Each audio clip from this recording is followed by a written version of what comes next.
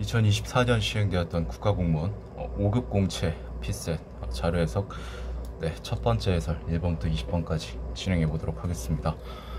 어, 뭐, 볼 수 있듯이 요즘 트렌드에 뭐 벗어나지 않게 그냥 1, 2번 법조문부터 시작합니다. 어, 전형적인 이제 그런 형태죠. 1번 봅니다. 공공 데이터의 제공 및 이용 활성화의 기본 계획에 관한 법조문인 것 같은데, 이거를 뭐 다 읽고 가면 좋겠지만, 일단은 좀 필요할 때만 읽는 그 부분으로 좀 하고, 조항과 이 뒤에 이것만 체크를 하고, 어, 넘어가도록 하겠습니다. 어차피 선지를 볼 때 또 봐야 되니까. 세 개 있네. 어. 자 봅니다. 첫 번째 조항은 기본 계획에 대한 설명 두 번째는 시행 계획에 대한 설명. 마지막은 운영 실태 평가입니다. 자 1번 봅니다. 자 행정 안, 행안부 장관은 기본 계획의 작성 을 위해 필요한 경우 관련 자료의 제출을 자 그럼 여기에 내용에 해당하겠죠 봅니다 자료 제출 자료 제출 키워드 찾아보면 여기 있다 자 행안부 장관은 전략이 시비를 거쳐 국가 지자체 어쩌고저쩌고 뭐저쩌고 할 때 이건 중요한 건 아니야. 필요한 경우 요청할 수 있다. 해야 한다. 할 수 있다. 할 수 있다죠. 공교롭게도 1번이 정답이 됩니다. 2번 봅니다. 자, 지자체 장은 시행 계획 중 중요한 사항을 변경하는 경우 공공 데이터 전략이 의 심의를 생략하고 이를 시행할 수 있다. 어쨌든 시행 계획이 여기가 되겠죠. 자, 봅니다. 자, 중앙장, 지자체장은 뭐 어쩌고저쩌고 했는데 전략이 심의 의결을 거쳐 시행하여야 한다. 하지만 변경하는 경우에도 또한 같다. 무슨 소리입니까? 심의 의결, 즉 변경할 때도 심의 의결을 거쳐야 된다. 어, 생략한다라는 표현은 전혀 어, 맞지 않습니다. 주어진 어, 법조문에 배치되는 부분이고 3번 헌재를 대상으로 운영 실태 평가해야 된다. 그럼 세 번째 조항으로 가면 되겠죠. 자 봅니다. 평가를 해야 되는데 여기 나와 있죠. 국회, 법원, 어, 헌법재판소 및 중선일은 제외한다. 어, 아닙니다. 자 이런 식으로 4, 5번은 4, 5번도 여러분들이 해보시길 바라고요. 어, 쉽게 나올 수 있는 부분입니다. 자 2번 바로 보도록 하겠습니다. 어, 똑같이 법조문이고요. 문화 관광형 시정의 어, 지정 육성이 나와 있습니다. 체크 좀 해주고. 조금 헷갈릴 수 있으니까 이렇게 좀 해가지고 어, 조항을 나눈다. 이런 좀 표시를 해주는 것도 나쁘지는 않을 것 같습니다. 경우에 따라서는. 이거 안 해도 상관없고. 자 지정의 해제입니다. 그래 뭐 해제가 될 수 있는 그 경우에 그 관한 부분들이 이제 이 조항에 있다는 뜻이겠죠. 자, 1번 바로 보도록 할게요. 옳은 거고라고 했고 시 도지사는 개별 상인의 신청에 따라 문화관광형 시정을 시장을 지정할 수 있다. 자, 지정의가 이쪽에 있겠죠. 직접 또는 상인 조직을 대표하는 자가 신청하는 경우 시도지사의 승인을 받아 지정할 수 있다. 자, 시도지사가 아니죠. 시장 등이지. 그러니까 뭐냐면 시장 군수 구청장이 어 시도지사의 승인을 받아서 결과적으로 지정할 수 있다. 그러니까 최종 지정권자는 시도지사가 아니라 어, 시장 군수 구청, 구청장입니다. 자, 2번. 지정을 해제니까 당연히 이 조항을 가야겠다라는 냄새를 우리가 좀 눈치를 좀 챌 수 있고 시도지사가 그 내용을 중소벤처기업부 장관에 어, 통보할 필요가 없다라고 했는데 볼게요. 여기 있다. 여기 있네. 자, 시도지사는 해제한 때 통보하여야 한다. 의무죠. 통보할 필요가 있습니다. 자, 시 도지사는 의견 진술 기회. 일단 지정 해제니까 여기 있겠지. 그럼 의견 진술 키워드를 빠르게 따라가 봅니다. 여기 있다. 시 도지사는 문화관광형 시장의 지정을 해제하려는 경우에는 시장 등 그 밖의 이해관계인에게 의견 진술의 기회를 주어야 한다라는 거죠. 그러니까 결국 줄 수 있다, 할 수 있다가 아니라 머스트입니다. 캔이 아니라 무조건 해야 된다는 소리죠.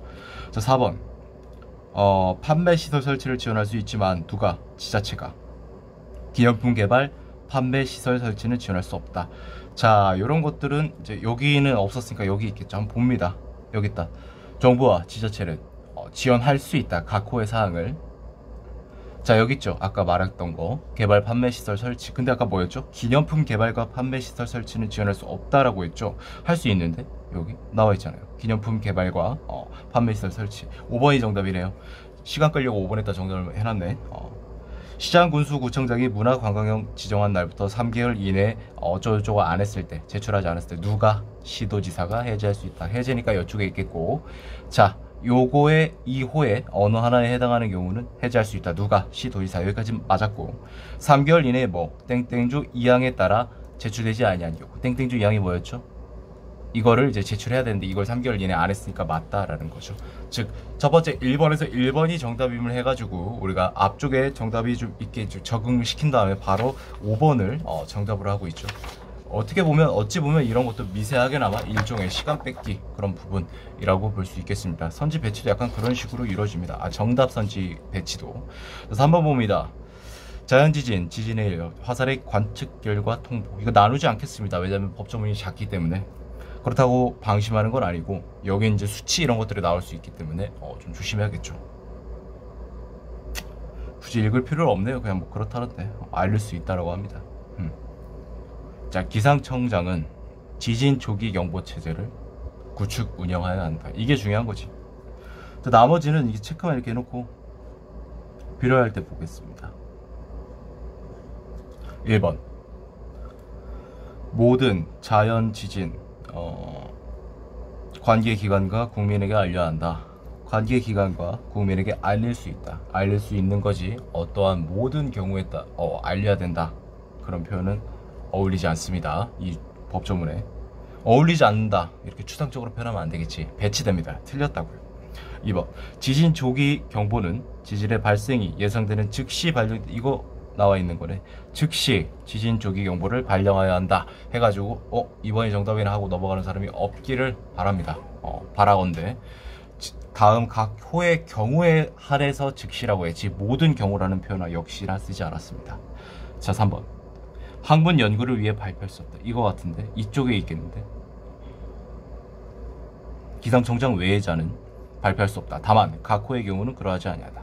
자, 학문 연구를 위해서. 그러니까 결, 결국에 뭐냐면 기상청장 외에 자는 그 관측 결과 특보를 발표할 수 없지만 어, 기상청장 외의자가 이제 이 경우에 따라서는 이 경우에 한해서 이제 발표할 수 있다. 뭐 그런 느낌이겠죠. 그래서 승인을 받으면 기상청장이 아닌 사람도 이 호에 관한 내용에 관해서는 어, 관측 결과 및 특보를 발표할 수 있다라는 거죠. 3번은 얼토당토 않습니다. 맞지 않고요. 4번 핵실험으로 인한 발, 핵실험으로 인해 발생한 인공 지진에 대한 관측 결과를 어, 기상청장 외의자가 발표하려는 경우 기상청장 이거잖아요. 틀렸습니다. 5번 봅니다. 이것도 또 5번으로 해놨네. 시간 뺏으려고. 국외에서 규모 6.0으로 예상되는 지진이 발생하였으나 여기네. 어, 국내에 영향을 미치지 않을 것으로 예상된다면 미칠 것으로 예상되는 지진이 국외에서 발생했을 때는 즉시 발령을 하지만 얘는 국내에 영향을 미치지 않을 것으로 예상을 했으니까 기상청장은 발령하지 않아도 되겠죠. 왜? 이 호의 경우에만 즉시 발령하는 거니까. 자, 4번 보도록 하겠습니다. 헌혈 증서 이제 관련 발급되는 건데 내용인데 좀 내용이 많으니까 체크 좀 하겠습니다. 발급과 보상이 있고요. 다음 조는 예치금, 적립금이 있습니다. 요거 호까지 나와 있어서 헷갈릴 수 있을 거죠. 이렇게 체크 좀 해주고 세모 조항이 있고요. 부작용 및 보상이 있고 끝이네. 뭐 그렇게 많지는 않은데 막 세모 나오고 네모 나오고 동그라미 나오고 지랄 났다 그죠? 도용 놀이 하는 것도 아니고 1번 헌혈 증서를 제출함으로써 무상으로 혈액 제재를 수혈받을 수 있는 사람은 헌혈자에 한한다. 일단 어, 여기 첫 번째입니다. 왜냐면 1, 2, 3, 4, 5가 대체적으로 그 법조문 차례대로 이렇게 가는 경향이 있습니다. 물론 이제 한 3, 4번 넘어가면 매, 크로스를 시키거나 그런 경우가 있습니다. 이렇게 융합, 결합을 시키거나. 자, 헌혈 증서를 발급하고요. 자, 헌혈자 또는 그 헌혈자의 헌혈 증서를 양도받은 사람은 수혈 받을 수 있다. 즉, 헌혈자뿐만 아니라 그 헌혈자의 헌혈 증서를 양도받은 사람은 받을 수 있다라고 하죠. 그래서 긴급한 사람들 헌혈 증서 그막 어, 인터넷에 올리잖아요. 급하니까 그런 거랑 같습니다. 틀렸습니다. 자, 혈액원은 헌혈이 직접적인 원인이 되어 사망한 자에 대하여 헌혈 환급 적립금에서 보, 자 적립금과 보상이 있습니다. 일단 보상으로 가야겠죠.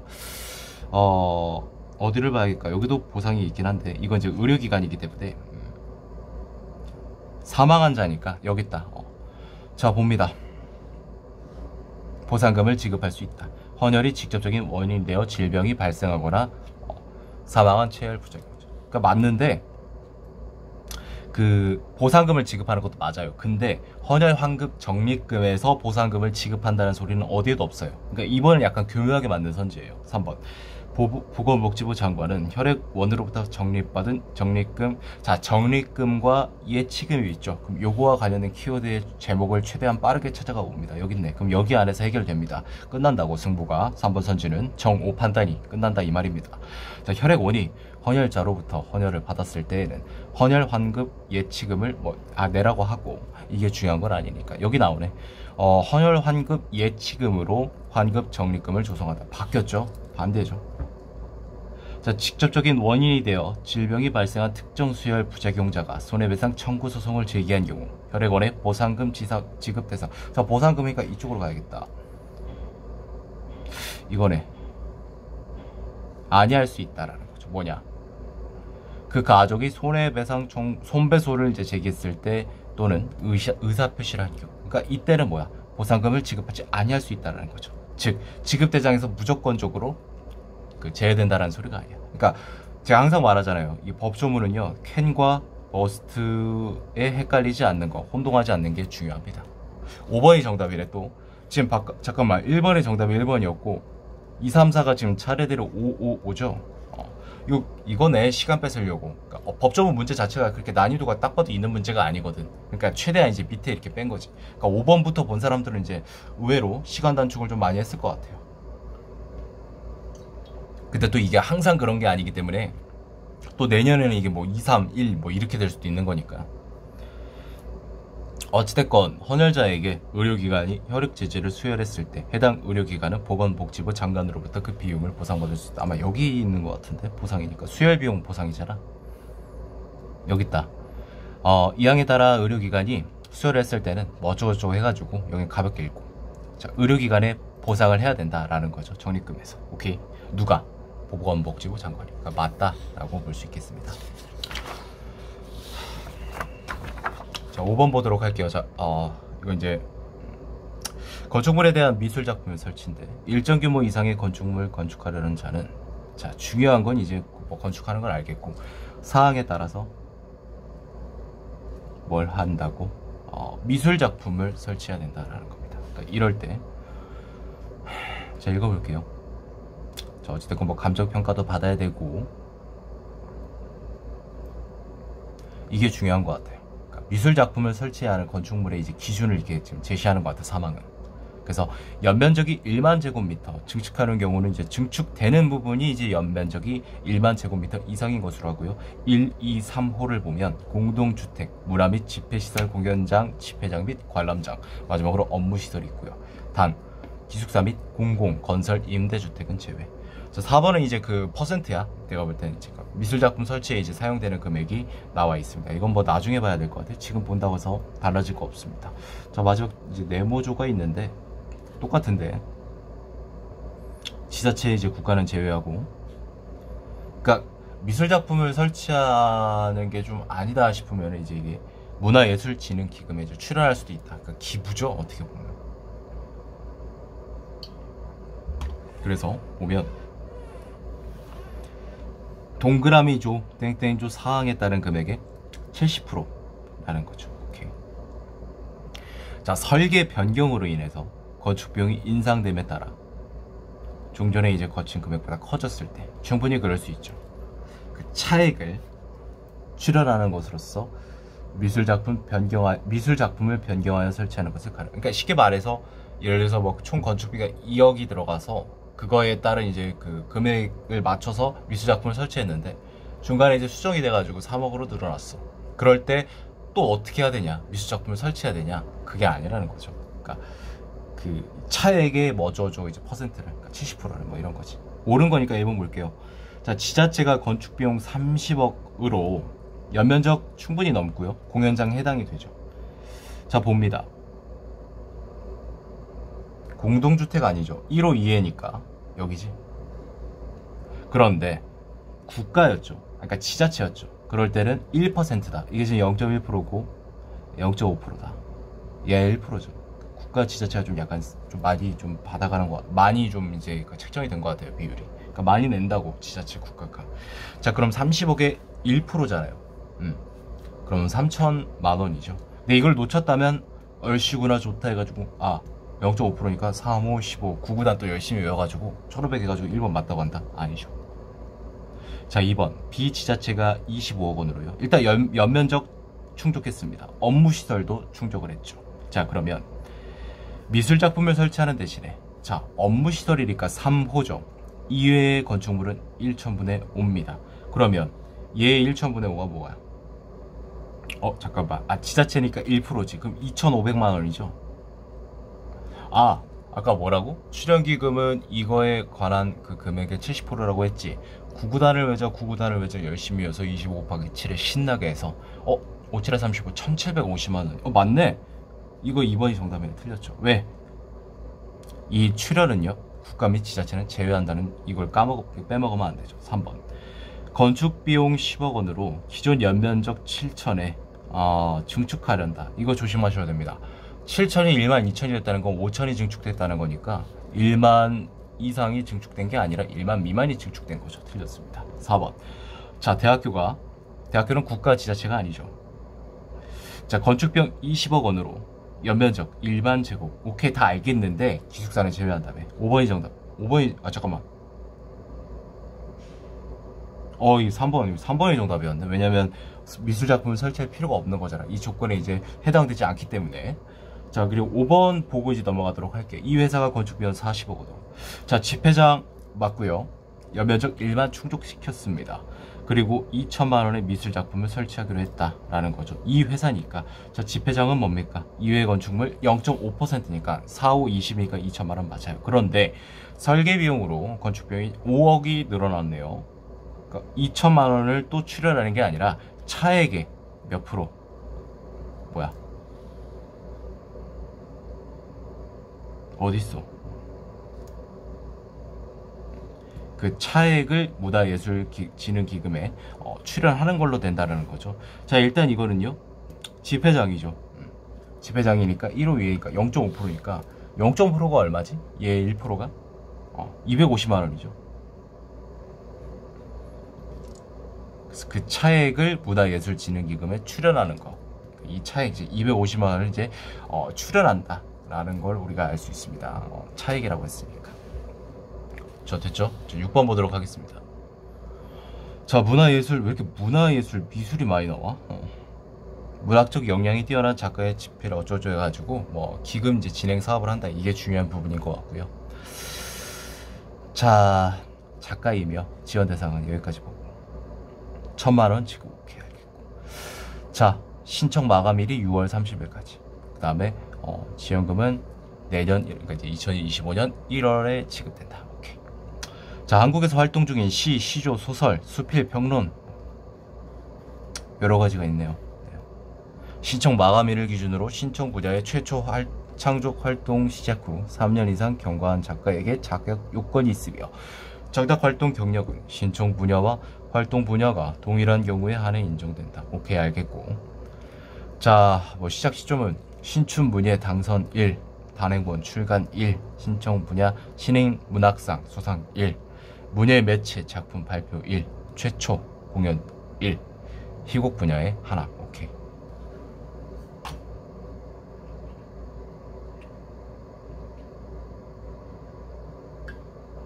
자 기억 볼게요 지원 사업은 한국에서 활동 중인 한국인 작가만을 대상으로 한다라는 거죠. 국적에 관계 없습니다.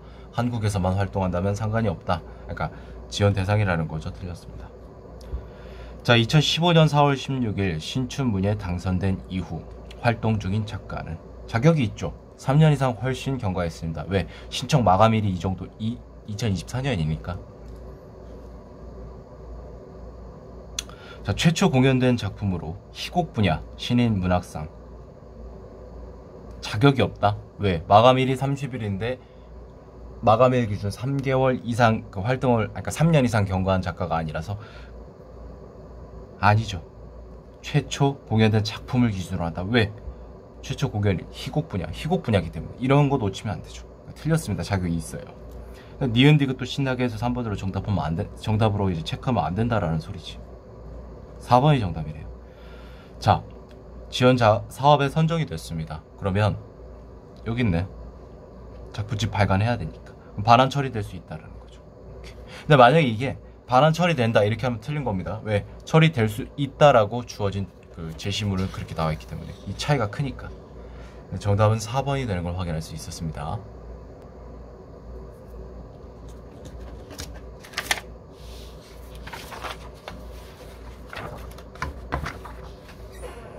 자, 7번 봅니다. 음. 상대 속도란 현재 대기 중의 수증기량을 현재 온도의 포화 수증기량으로 나눈 값이다. 이는 현재 온도에서 공기가 최대로 품을 수 있는 수증기량에 대한 현재 공기 중에 포함된 수증. 여기서부터 뭔가 머리 아프고 이거 넘어가는 사람들 많았을 거예요. 8번 했는데 와, 씨, 또 숫자야 하면서 막 이것도 뭐 변환할 문제야 하면서 아, 9번으로 넘어가서 이러면 안 돼요. 이거 뒷부분 문제가 아니기 때문에 충분히 풀 수 있어. 그 배경 지식 없어도. 물론 배경 지식 있으면 좀 수월하게 풀 수 있는 건 사실입니다. 상대 습도가 100%일 때를 포화 상태라고 표현하며 이때는 물과 수증기와 평형을 이루어 수증기의 양이 뭐 늘거나 줄지 않는다라고 한답니다. 포화 수증기량은 기온이 올라갈수록 증가하고 기온이 내려갈수록 감소하는데 포화 수증기량이 감소하여 현재 수증기량보다 적어지면 어, 추가한 만큼의 수증기가 응결되어 물이 된다 라는 걸 우리가 알 수 있다라는 겁니다. 자, 봅니다. 포화 수증기량이 20% 증가하면 상대 습도 낮아진다. 이거 딱 봐도 틀린 선지입니다. 이게 말이 안 됩니다. 그러니까 포화 이게 뭐냐면 상대 습도가 이 주어진 제시문으로 우리가 배경 지식이 없어도 충분히 이건 이끌어낼 수 있어요. 이게 뭐냐면 그러니까 포화 수증기량 분의 현재 수증기량 이겁니다. 근데 포화 수증기량이 20% 증가했다고 얘가 20% 낮아진다. 말 같지도 않은 소리죠. 어, 틀렸습니다. 자, 니은. 상대 습도가 80%인 공기의 수증기량을 증가시켜 포화, 수증, 포화 상태로 만들 수 있다. 자, 어딨어? 현재 대기 중의 수증기량을 현재 온도의 포화 수증기량으로 나눈 값이다. 그러니까 얘를 늘린다는 거잖아. 올려가지고 증가시켜서. 그러니까 이 포화가 되려면 뭐야? 이 80이 100%가 된다는 거죠. 충분히 가능하죠. 수증기를 이렇게 뭐 가습기나 이런 것처럼 할수 있는 거잖아. 맞습니다. 자, 밀폐된 공간의 공기 온도가 올라가면 자, 밀폐된 공간이라는 표현을 왜 했을까? 공기의 유출 유입이 없다라는 거죠. 즉 뭐야? 현재 수증기량이 고정이 되는 상태라는 소리야. 그런데 공기 온도가 올라가면 뭐라고? 어딨어? 어, 포화 수증기량은 기온이 올라갈수록 증가한다. 즉 분자는 그대로인데 분모가 올라간다고. 뭐 어떻게 되겠습니까? 상대 습도는 낮아지죠. 정답은 2번입니다. 이게 이제 이건 배경 지식으로 알면 좋은데 왜냐면 얘는 언어 논리에서 충분히 나올 수 있는 이미 많이 나왔어요. 막 높새바람, 팬 현상 이지랄 하면서 충분히 나올 수 있는 주제고 앞으로 이전에 나왔다고 더 이상 안 나오는 게 아니라 앞으로도 나올 수 있는 문제다. 그러니까 주제다라는 거죠. 그래서 알아둬서 나쁠 건 없죠. 이제 기온 온도가 되겠죠.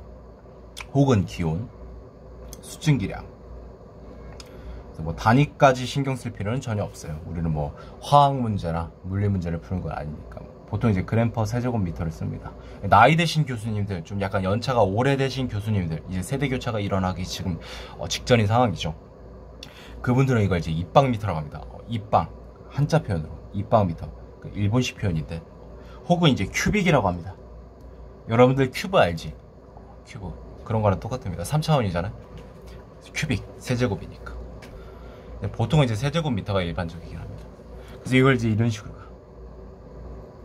지수함수 그래프가 맞긴 한데 뭐 그 수학적으로 접근하는 게 절대 아니고. 그래서 이 영역이 이쪽이랑 이쪽 두 가지로 크게 나눌 수 있어. 그 다음에 이 선이 의미하는 바가 또 있고. 이 선이 말한 여러분들 상대수도 그 포화 수증계량입니다. 그래서 이 포화 수증계를 넘어가면 뭐야? 여러분들 잘 알고 있는 과포화. 그 얘는 뭐야? 불포화. 불포화 지방산 아니에요. 머릿속에 혹시 불포화 지방산 떠올린 사람이 없길 바랍니다. 그래서 이거지. 온도가 올라가면 올라가서 얘가 올라가지. 그 말은 얘가 뭐야? 수주, 품을 수 있는 수, 포화 수증기량 올라간다는 거죠. 온도가 내려가면 뭐가 돼? 당연히 뭐가 돼요? 어, 포화 수증기량이 뭐야? 줄어들 거지. 그러니까 이를테면 이런 거지. 과학 시간이야? 여기 있던 애가 과학을 가르치긴 했었는데 애들한테 여기까지 내려갔다 쳐봐 온도가. 그러니까 이 지금 막대기에 해당하는 수증기량이 지금 어떻게 사라질 수가 없잖아. 음, 뭐 타노스야? 말도 안 되잖아. 얘네들이 이제 물방울로 나오는 거예요. 은결이라고 하죠. 자, 8번 봅니다. 자동차 연비를 표시하는 데는 뭐 단위가 여러 가지인데 일반적으로 이제 킬로미터 퍼 리터가 되겠지. 아, 자, 갤런. 미국에서 자주 쓰는 그거죠. 그래서 베스킨라빈스 맨날 뭐 갤런이라고 하잖아. 뭐 하프 갤런이라고 하고. 그래서 이제 어, 마일로 계산한다. 그다음에 MPG를 쓴대요. 마일 퍼 갤런이겠죠. 그래서 뭐 이렇게 뭐 한다고 합니다. 1갤런 4리터. 1바에 1.6. 원래 1.61 어쩌고 저쩌고인데. 아, 1.608이었나? 정확하게 모르겠다. 자, X가 중요한 거는 120km를 이동하는데 몇 리터가 어, 소요가 된다라고 합니다. 자, 그러면 이거 보면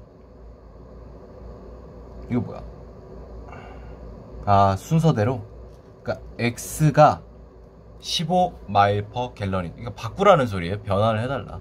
자, 15마일 간단합니다. 1마일이 뭐라고 여기 주어졌죠? 1.6입니다. 이거 머릿속에서 계산됩니다. 15의 제곱이 뭐였죠? 25, 225잖아. 거기에 이제 하나 더 추가되는 거잖아. 왜? 15 곱하기 16과 다를 게 없잖아.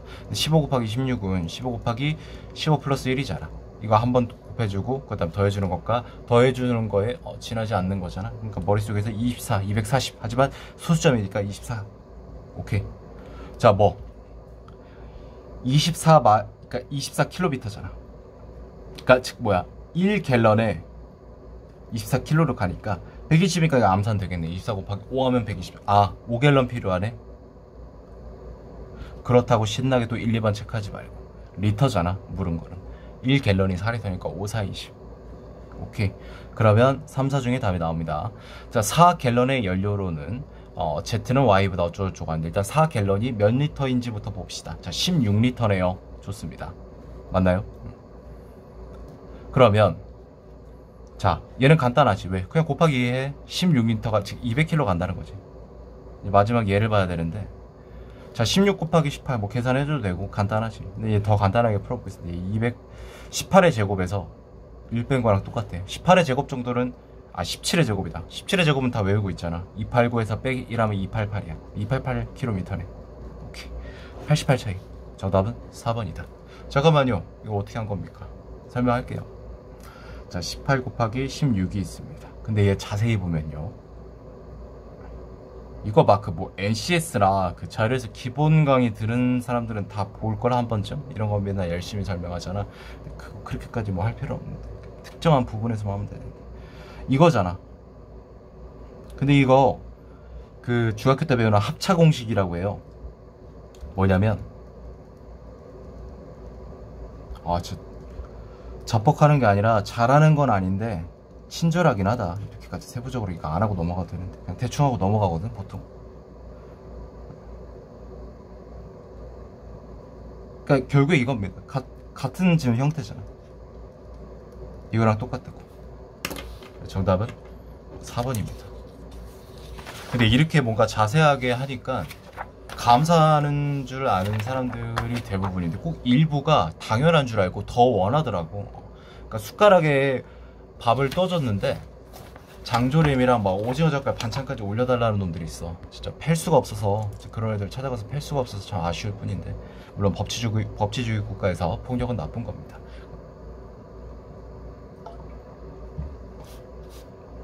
자 9번. 자 최종 금리를 옳게 짝지은 것은 그래서 보니까요.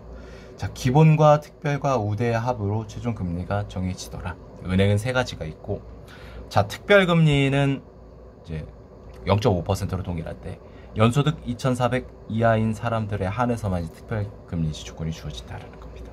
그래서 A, B, C 은행이 있고요. 최대 가산 우대 금리가 있으니까 뭐 우리가 조건을 따져보도록 하겠습니다. 자, 값부터 보죠. 가장 높은 건 당연하겠지. 선택하는 건. 나 같아도 그러겠다. A 은행만 아 이거는 그냥 이렇게 하자. 빠르게 그냥 처리해야 되니까. 자 A일 때 빠르게 보겠습니다. 주택 청약 보유하고 있고요. A은행만 이용했고 다른 은행으로 바꿀 수 있지만 급여 바꿀 수 없어. 그러니까 지금 자동이체를 하고 있다는 거지. 얘네들 해당되네. 자 K카드 40만 0.5니까. 1.5다 신나게 하면 안 되지. 왜? 얘를 무시하면 안 되지. 최대 1.0을 넘을 수 없다는 거지. 연소득 2200이니까 특별금리 적용돼서 A 경우 4.2에다가 0.5, 1.0 그래서 정확하게 5.7이다 라는 걸 알 수 있고요 자, 빠르게 B은행 가봅니다 추출 신규 고객 넘어가니까 신규겠죠. 그 다음에 공과금 어, 자동이체는 다른 은행으로 바꿀 수 있대요. 해당이 되는 거죠. 어, 얘는 근데 최대 1.5네, 천장이. 그러니까 1.5K. 4.0이고, 어, 우대할 수 있죠. 왜? 연소득이 2,400 이하니까. 어, 잠깐만. 맞나? 어, 잠깐만. 1.0이 아니지. 기본금리 4.0에다가, 그 다음에 이제 이거. 최초 신규 고객 공과금 자동이체에서 우대금리 1.5. 그 다음에 이제 특별금리 0.5에서 6.0. 얘가 정답이겠는데? C만 빠르게 보자. 자, B은행만 이용해 왔다. 어떤 은행에서 하더라도 괜찮아. 어, 그러니까 이제 신규 어, 급여 이체 0.7이고요. 신규 0.6이고. 자, 70만 원 사용한대. 자, 그럼 얘네 다 더하면 뭐가 되지? 1.7. 그러니까 최대 1.7을 맞아. 기본 금리 하면 5.5야. 하지만 특별 금리는 대상이 안 돼. 왜? 연소득이 3천 아 잠깐만 죄송해요. 갑을 보다가 왜 얘를 보고 있어? 음, 큰일 날 뻔했네. C를 먼저 구해버렸네. 의뢰. 어. 자 봅니다.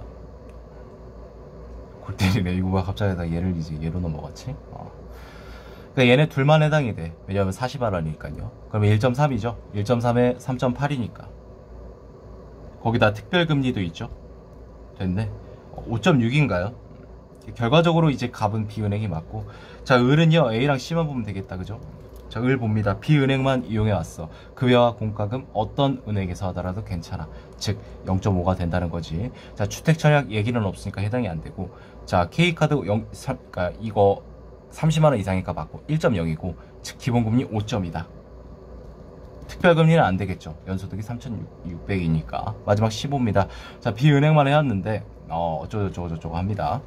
자, 봅니다. 일단 K카드 70만원 쓰고, 급여 이체, 공과금 어디에서 해도 되고, 최초, 최초 신규 고객이니까 1.7을 최대로 받겠죠. 자, 3.8에 1.7을 더한다. 5.5죠. 특별금리는 안 되죠. 연소득이니까. 자, 그럼 C은행이 5.5니까 정답은 4번입니다. 시간이 그렇게 오래 걸리는 문제는 아닙니다. 설명하다 잠깐 꼬여가지고 시간을 소모했는데. 10번 봅니다.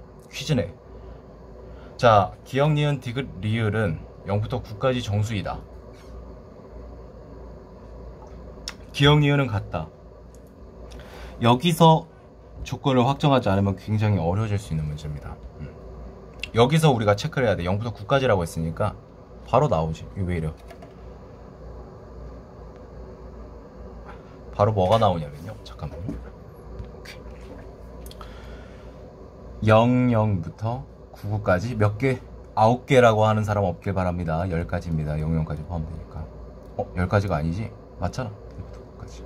어, 10가지. 좋아요. 자, 그런데 두 번째 조건을 보면 홀수계는 니은이다. 자, 기억 니은 같으니까 홀수계. 뭔가 느낌이 안 옵니까? 이거 최대 4자리잖아. 어, 조합이. 그럼 홀수가 최대 4개밖에 안 돼. 죽었다 깨어나도. 그럼 뭐 말이야? 무슨 말이죠? 5부터 9까지는 볼 필요가 없다라는 거지. 그리고 4, 4부터 보면요. 4, 4도 안 돼. 왜? 이미 4, 4, 디귿과 리을이겠지. 홀수가 4개가 될 수 없어. 이미 짝수가 2개가 되기 때문에. 끝났습니다. 자, 그럼 3, 3과 2, 2와 1, 1, 0, 0. 네 가지밖에 안 남았죠. 자, 봅니다. 3, 3 봅니다. 자, 일단 3, 3. 홀수는 니은계다. 3개라는 거죠. 일단 2개는 충족을 했어. 그 다음에 디귿. 1은 디귿계다. 뭐 0이 될 수도 있어.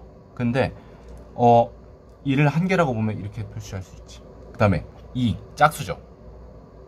얘가 만약에 2라고 하면 짝수가 두 개 말이 안 되죠. 그러니까 얘를 0으로 보내버리는 겁니다. 그럼 말이 되잖아. 2가 없으니까 0개지. 자, 이렇게 되면 홀수가 3개죠. 모든 조건을 충족합니다. 3, 3, 1, 0이니까, 어, 이게 뭐야? 합으로 가능한 수를 물어보고 있으니까 7입니다. 정답은 4번입니다. 자, 2는 안 될까요? 홀수가 두 개여야만 합니다. 니은이니까. 그럼 여기가 무조건 뭐라고? 죽었다 깨어나도 홀수가 나와야 되는데 2는 리을계다. 이거부터 안 된다고. 2가 3개. 3개가 될 수 있어? 1이 될 수 있어? 말이 안 되잖아. 어. 맞잖아요. 2 이미 두 개인데. 맞죠? 응. 이미 여기는 2가 넘어가야 돼. 맞는 거잖아. 그래야 맞는 거잖아요. 그렇기 때문에 얘는 안 됩니다. 1은 또 디귿계라고 하니까. 1이 만약에 0개라고 치자. 그 홀수가 위배됩니다. 왜? 0은 짝수니까. 아닌데? 그건 이제 저한테 따지지 마시고 0 짝수 맞아요. P셋에서, P셋에서 0은요. 별도의 언급이 없으면 짝수입니다. 0은 짝수가 맞아. 그게 아니더라도 수학적으로. 자 그러면 얘는 무슨 조건에 어떤 부분을 이제 경우를 살펴봐도 안 돼요. 그럼 얘 봅시다. 홀수가 한 개 바로 틀렸죠. 11 여기서부터 벌써 두 개인데. 자, 00 봅니다. 홀수가 0개라는 거네. 그럼 여기 짝수가 돼야 된다는 거네. 오케이. 알겠어요. 그 2는 짝수가 될 수 있는 게 0, 2잖아. 그럼 얘 0으로 보내. 1도 0이 될 수 있는 거죠. 즉 0000도 가능합니다. 어, 근데 합이 0이 없으니까 정답은 4번이 되는 걸 확인할 수 있습니다.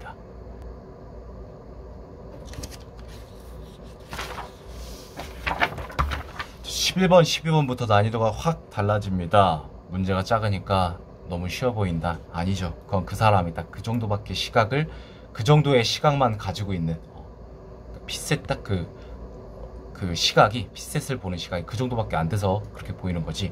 대다수는 이거 어려운 문제인 게 딱 느낌이 올 겁니다. 왜 어렵냐? 경우에서도 따져야 되고 또 막 수학이 또 들어갈 수 있고 하니까요. 그러니까 11번은요. 전형적으로 수학 문제입니다. 이건 NCS 수리 능력에 어울리는 문제입니다. 피셋에 그러니까 피셋에 나오지 말란 법은 없어요. 하지만 굳이 따지자면 NCS 수리 능력, 응용 수리에 더 가깝습니다. 저는 개인적으로 그래요. 그래서 이 11번 같은 문제가 아 얘는 좀 피셋 상황 판단 문제가 아니지 않나 라는 생각을 조심스럽게 해봅니다. 12번은 좀 아니고 왜냐하면 얘는요 식을 세우고 방정식 연립방정식이라고 하죠. 여러분들 중학교 때 배운 거아 나 수포자예요. 나 이과 출신 아니에요. 그 핑계입니다. 피셋은요 어, 중학교 교과 과정에서 충분히 나올 수 있는 그런 어, 지식이나 배경 지식 혹은 스킬들이 쓰입니다. 음. 그래서 우리가 보통 이제 자료 해석 기본 강의를 듣는 사람들이 아마 강사들이 연립방정식은 꼭 한번 어, 소거를 하고 갈 겁니다. 여러분들한테 무슨 4차, 5차 무슨 이런 연립방정식을 원하는 게 아니잖아. 기껏해야 두 개입니다. 그러니까 두 개가 뭐야?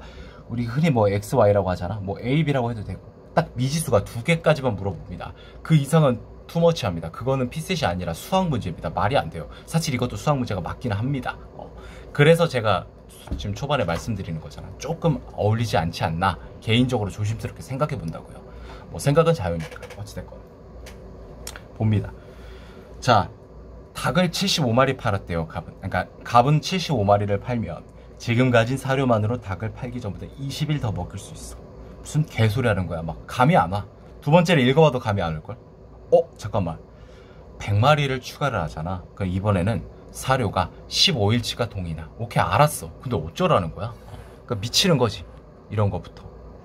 이 초점 약간 이제 흐려질 수 있는 거 좀 양해 부탁드려요. 제가 여러분들 배려해서 최대한 이거 초점 맞추고 있어요. 이게 어쩔 수가 없습니다. 이게 지금 촬영하는 카메라가 갤럭시 20인데, 어, 이 손이 왔다 갔다 하면은 그 손에 이제 초점 focusing을 하는데 이걸 막을 수는 있어요. 근데 그 막게 되면은 프레임이 또 drop이 일어납니다. 어, 뭐 제가 이제 할 수 있는 최선입니다. 어쩔 수 없어요. 어, 뭐 불만이면은 어 뭐야 저희 그 돈 내고 저 그 뭐야 강사들 그 강의 들으면 되는 거잖아. 내가 뭐 여러분들한테 돈을 뭐 입장료 받고 이걸 들으라고 했어 협박을 했어 강요를 했어 여러분들이 알아 찾아온 거니까 어. 그래서 뭐 기침 소리 안에 이런 걸로 막 무슨 뭐그 기침 좀 이러, 이런 이지랄하는 댓글들이 많더라고. 뭐 그렇게 원하는 게 많지, 그지? 사람이 또 이게 하다 보면 한 시간 넘게 하면 기침을 할 수 있잖아요. 어, 진짜로. 투덜대는 게 아니라 팩트입니다. 그런 댓글들이 있어요. 아, 그래서 쟤네들은 어딜 가도 성공은 못 하겠구나. 어, 진짜로. 저런 그 불만, 이런 거. 염치가 없는 애들이라고 하지. 다시 갈게요. 중간으로 셈에 이제 그 해설에 이제 흐름 핀트가 깎이니까. 자, 고민을 해보죠. 우리도 지금 고민을 해야 돼. 갑과 을이 가지고 있는 닭의 마리수가 얼마인지 고민을 해야 되는 거잖아. 애매해 지금 어떻게 해야 될지. 그러니까 우리가 이거 이 문제가 좀 불친절한 게 이런 표현이 좀 있었어야 됩니다. 그러니까 여기 이제 당구장 표시를 해가지고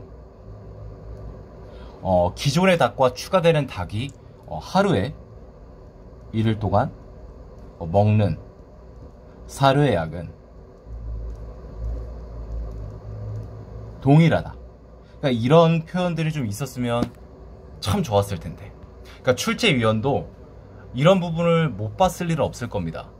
어, 대단한 양반들이니까. 그럼 굳이 이걸 언급을 안 했다는 건, 야, 그래, 니들 5급 시험 이 피셋 보는데 이 정도는 알아서 눈치껏 헤아려라. 뭐 이렇게 보라는 건가? 조금 제 입장에서는 불친절합니다. 이거 써준다고 해서 잉크, 잉크값 많이 들겠지. 한 줄을 몇만 장을 또 이제 뭐 1만 장 가까이 이제 이거를 이제 1만 부를 이제 인쇄를 해야 되니까. 근데 그게 수천억 드는 건 아니잖아. 그 팩트잖아요. 어. 이거 그 무슨 시험 비용 아끼려고 이거를 추가 언급을 안 했다 그건 아닙니다 개인적으로 여러분들 공감할 걸 그러니까 이거 저 언급 안 했다는 거는 동일하다고 이제 판단을 하라는 거야 알아서 생각을 하라는 거지 그 결과적으로 뭔 우리가 뭘 알 수 있냐면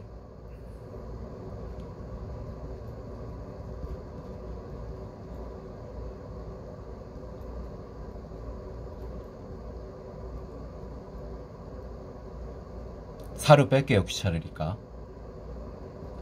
자 마지막으로 이제 아 이거 애매한데.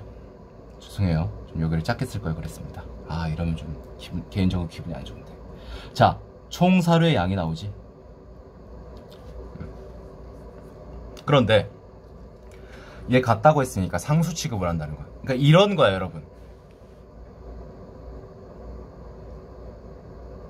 보통 이제 비트코인 뭐 그 가상화폐 그뭐 선물질하는 애들이 이제 K 많이 쓰는데 천 단위로. 여러분들 20K랑 30K 비교할 때 K 무시하고 얘가 더 크다라고 대소 비교할 수 있죠. 얘는 이제 무시하고 이제 얘네만 보고 이제 하는 느낌이라고 보시면 됩니다. 약분을 한다라고 보시면 되겠죠. 자 그러면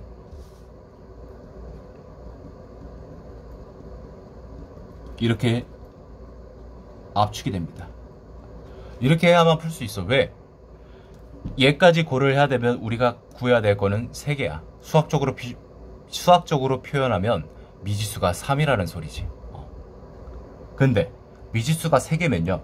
흔히들 이제, 이제 수학적 엄밀하게 표현하면 3원 1차 연립방정식입니다. 그 말은 조건이 하나 더 있어야 돼. 근데 주어진 조건은 하나, 두 개밖에 없어. 그래서 두 가지. 즉 이렇게 풀어야만 합니다. 지금 수학적으로 풀고 있는 거예요. 자, 그럼 봅니다. 첫 번째 값이 말했을 때, 자, 우리가 그 원래 닭이 지금 구하려는 마리수를 x라고 보겠습니다. 그런데 뭐라고 하죠? 일수를 y라고 봅시다. 21 더 늘어나죠. 총 사료를 z라고 할까요? 그리고 원래 조건 하나 더 추가할게요. 원래 x 곱하기 y는 뭐가 된다? z. 이게 무슨 소리야? 그러니까 원래 그냥 뭐랄까 닭이 줄지도 늘지도 않았을 때. 그러니까 총 사료량이 같다라는 거죠. 얘에 비해서 이제 이거니까. 그러니까 총 사료량은 지금 투입이 된 게 없잖아. 맞잖아요. 그러니까 이게 동일해야지. 이거를 기준으로 해야지 연립방정식 풀리니까. 나머지. 얘는 마이너스 15입니다. 왜? 일수에서 15일이 일찍 동난다고 했으니까. 자, 그럼 얘랑 얘, 얘랑 얘를 연립하면 문제는 해결이 됩니다. 이거 까먹어도 기억, 다시 한번 기억하세요.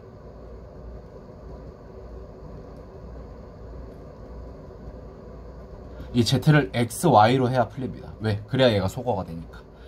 그 다음에 마지막. 야 이건 좀 아닌데. 이렇게 하, 좀 아니라고 봅니다. 이렇게 푸는 거는 이게 진짜 수학 문제지 뭐야 이게. 물론 이제 높은 수준은 아니에요. 이거 중학교 2학년 딱 그 연립방 정식 수준인데 그 중학교 2학년들이 푸는 이제 뭐랄까 그 문제집에서 어, 한 사고력 문제 뭐 해서 이런 식의 문제인데. 그 얘네들이 남아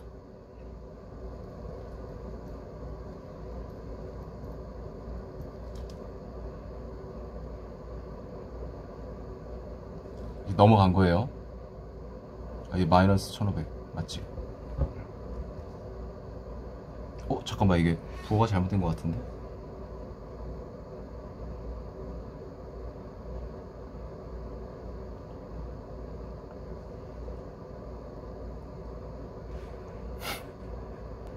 어, 부호 봐 그냥 신경 쓰지 말고 해야겠다 마이너스 15x 플러스 100 조금 답답하겠지만 막 벌써 막 미간 찌푸려지고 인상 찌푸려지고 막 입 뾰루퉁하고 막 입술 삐져나오고 그러지?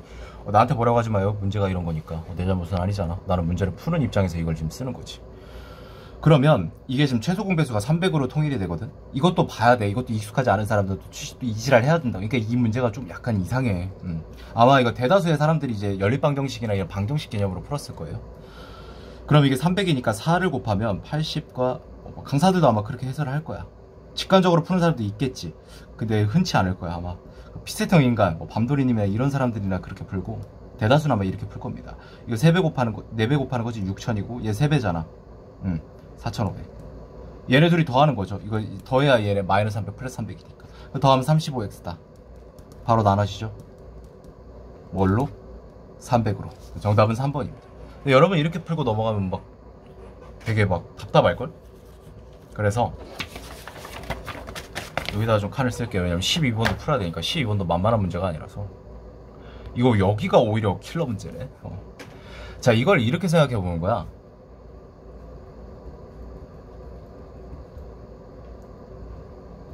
그 뒤에 이거 뺄게요, 여러분들. 다 아니까. 그런데 안 써야겠다. 설명을 하려면. 자, 여러분들. 여기서 느낌, 이 처음에 딱 느낌이 오는 사람들이 있어. 어, 잠깐만. 야, 75마리가 21치 먹으면은 합치, 이거 곱하면 이게 결국 사료양 느낌 아닐까? 어? 1500이네? 어, 잠깐만. 야, 100마리 사는데 15일이 동났대. 그럼 이 100마리가 15일치를 지금 감당을 했다는 거잖아, 사료를. 얘네들이 도파니까, 어? 뭐야, 이거? 왜 같지? 뭐가 이상하지 않습니까? 그림, 그런데, 여기서 이제 아이디어를 착안하는 거야. 즉, 총 사료는 같아야 돼. 그러니까 이게 직관적으로 푸는 겁니다. 일수가, 그러니까 얘네들만 보고 이제 따지는 거지. 20일을 더 먹이는 것과 15일을 덜 먹이는 게 있어. 그러니까 지금 1500이라는 그 사료로 어, 100마리는 15일을 덜 그러니까 먹고 75마리 20일을 먹는 거지. 그러니까 뭔가 느낌이 오는 게 없습니까? 어? 15에서 20? 3분의 1. 증가가 뭐야? 아, 15에 3분의 4잖아. 그래야 20이 되는 거죠. 어? 잠깐만. 일수가 3분의 4. 왜 이걸 일부의 사료로, 이 총사료로 볼 수 있냐면, 일정해야 되니까. 그러니까 뭐냐면, A 곱하기 B가 C야. 얘가 줄어들었으면, 그러니까 예를 들어서 이거지. A 곱하기 0.5B가 있어. 근데 나는 C가 되길 원해. 얘가 C가 되려면. 그 이에 상응하는 뭘? 2를 곱해줘야 되는 거죠. 얘 분모라면 2분의 1이니까. 그럼 온전히 이런 식으로 우리가 원했던 얘가 되는 거잖아. 자, 그러면 3분의 수 마리수니까. 얘 입장에서 보면 뭐야? 20분의 40, 15니까 4분의 3 아닙니까? 어, 맞잖아. 어, 4분의 3. 아, 그럼 뭐야? 어? 이렇게 되네? 곱하기. 어, 잠깐만. 그럼 게임 끝났다. 마리수 어떻게 구하는데? 아까 그대로 가. x-75 곱하기 3분의 4는 x 플러스 100 곱하기 4분의 3으로 가자고. 풀릴 겁니다, 아마. 3분의 4x 20으로 나뉘잖아, 100이고. 아까보다 훨씬 간단하죠? 그래도 풀긴 해야 돼. 그나마 그래도 1차 방정식이잖아. 이 정도는 풀어야 됩니다. 자, 이 넘어가. 175죠. 이거 11로 통분해. 귀찮다. 근데 아까보단 나. 귀찮긴 한데 아까의 방식보단 훨씬 나. 오케이. 어, 10분의 7x는 175니까 x는 뭐다? 175를 11을 곱해서 7로 나누면 된다. 어, 야, 이거 언제 계산하고 있어요? 아, 물론 할 수 있죠. 뭐, 1750에 350. 근데 이렇게 하지 않아도 됩니다. 7이 14. 어? 7호 35. 계산 바로 약분됩니다. 나머지 뭐다? 12. 이거 곱하면 뭐가 돼? 우리가 잘 알고 있는 300이잖아. 이렇게도 풀 수 있습니다. 더 설명하고 싶은데 12번도 좀 해야 돼가지고 48분이네 어, 12번 설명한다 아직 48분 큰일 났네 어, 시간 오래 걸리겠다 12번 자 1kg만 정확하게 맡길 수 있고 모든 보석의 종류를 이제 하나씩 포함해야 된다 쪼갤 수 없다 이거 그 문제입니다 그 한계 효용인가? 효용 극대화 문제 그러니까 이게 그 미시경제학인가 그쪽에서 원래 다뤄지는 개념인데 가끔씩 이렇게 그 적성에서 이 문제가 그 개념을 이렇게 살짝 녹인 그 이게 활용되긴 해요. 이건 구글링 좀만 해보시면 되거든. 왜냐면 얘는 자주 나와서 한 번 이게 그 어려운 개념이 아니에요. 그래서 이거 충분히 할 수 있어요. 어. 그러니까 해보시기 바랍니다. 지금 그것까지 설명할 수 없어요. 그러니까 어떻게 하냐면 효율, 효용 극대화, 효율 극대화 똑같은 문제라고. 자, 1kg 정확하게 하는데 최대 금액이 되게 맡기고 싶대. 자, 그럼 돈을 생각해야지. 근데 돈만 생각하나? 무게도 생각해야지. 1kg 맞춰야 되니까. 예분의 예를 봐. 그러니까 뭐냐면 무게당 가격, 즉 가치가 얼마가 되냐. 12분의 10 약분합니다. 6분의 5 머릿속에서 암산합니다. 이 정도는 다 할 수 있잖아. 0.833 얘는 0.7 어? 얘는 1 얘는 0.5 자 여기서 우리가 뭘 느껴야 되냐면 자 그래 네가 말한 대로 이걸 했다. 근데 어쩌라고. 따지지 말고 어. 가장 높은 수치가 누구예요? C죠. 이게 그러니까 여기서 이게 무슨 소리냐면 우선순위를 야 C 그 다음에 높은 게 뭐야 얘 그러니까 뭐냐면 오케이 1kg 내가 맞춰줄게 그런데 최대한 이 무게당 그러니까 얘가 가치야 어떻게 보면 밸류라고 생각하면 돼 value가 높은 애들 위주로 가자 그러니까 C랑 A랑 B, D 순서로 우리가 최대한 채워보자 하지만 각각 하나씩은 다 채워야겠지 이 느낌으로 가는 거라고 자 150 곱하기 3 450이지 얘 일단 만땅. 왜? 가장 높으니까. 만땅 되잖아. 1kg 채워야 되니까. 그 다음에 얘 가야겠지. 어, 그런데 뭔가 이상해. 다 담을 수 없어. 왜? 520g이거든. 아닌데요. 담을 수 있는데요. 아니죠. 못 담, 아, 얘를 곱했구나.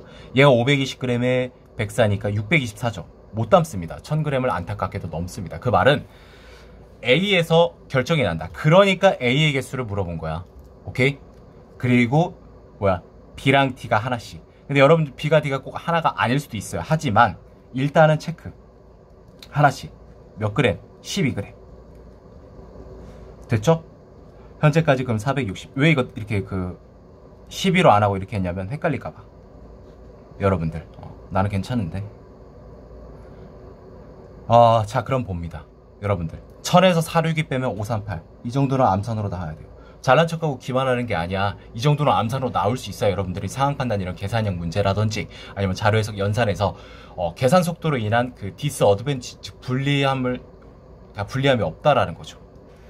자, 538인데 어떻게? 그럼 이걸로 나누면 되지. 최대한 몇 개를 할 수 있는. 12로 나눠. 그러면은 12 곱하기 4 48, 58. 어.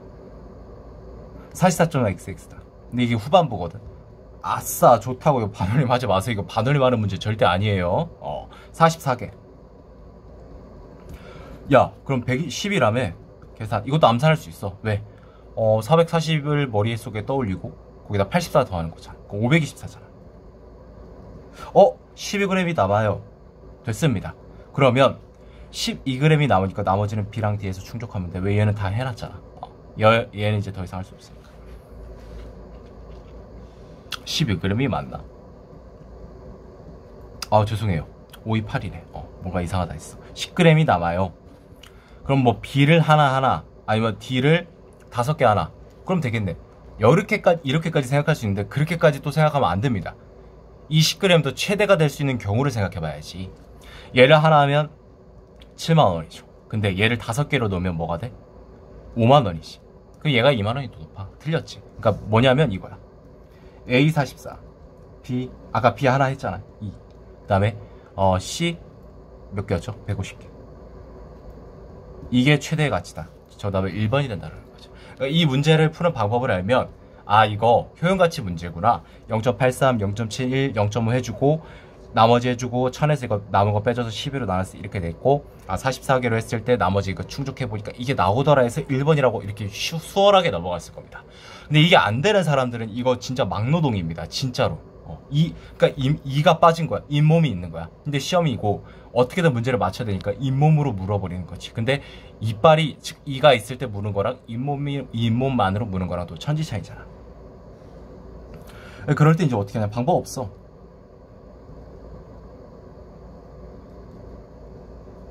이렇게 가는 수밖에 없습니다. C입니다. 44. 이렇게 가는 거죠. 그래서 요거 보면 44일 때 C가 음, 150 가죠?